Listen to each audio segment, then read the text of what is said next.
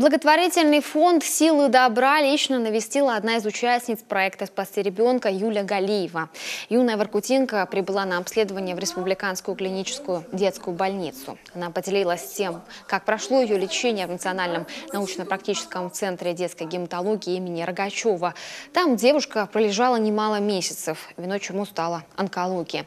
В федеральном центре ей сделали несколько операций. К сожалению, пришлось ампутировать поврежденную ногу и часть бедренной кости кости, которую заменил эндопротез.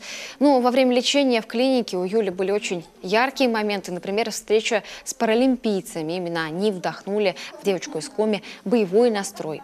Кроме того, она смогла побывать в кукольном театре имени Образцова. Сегодня Юля готовится к выпускным экзаменам и вернулась к своему любимому занятию – куклам. Им она придумывает разные образы.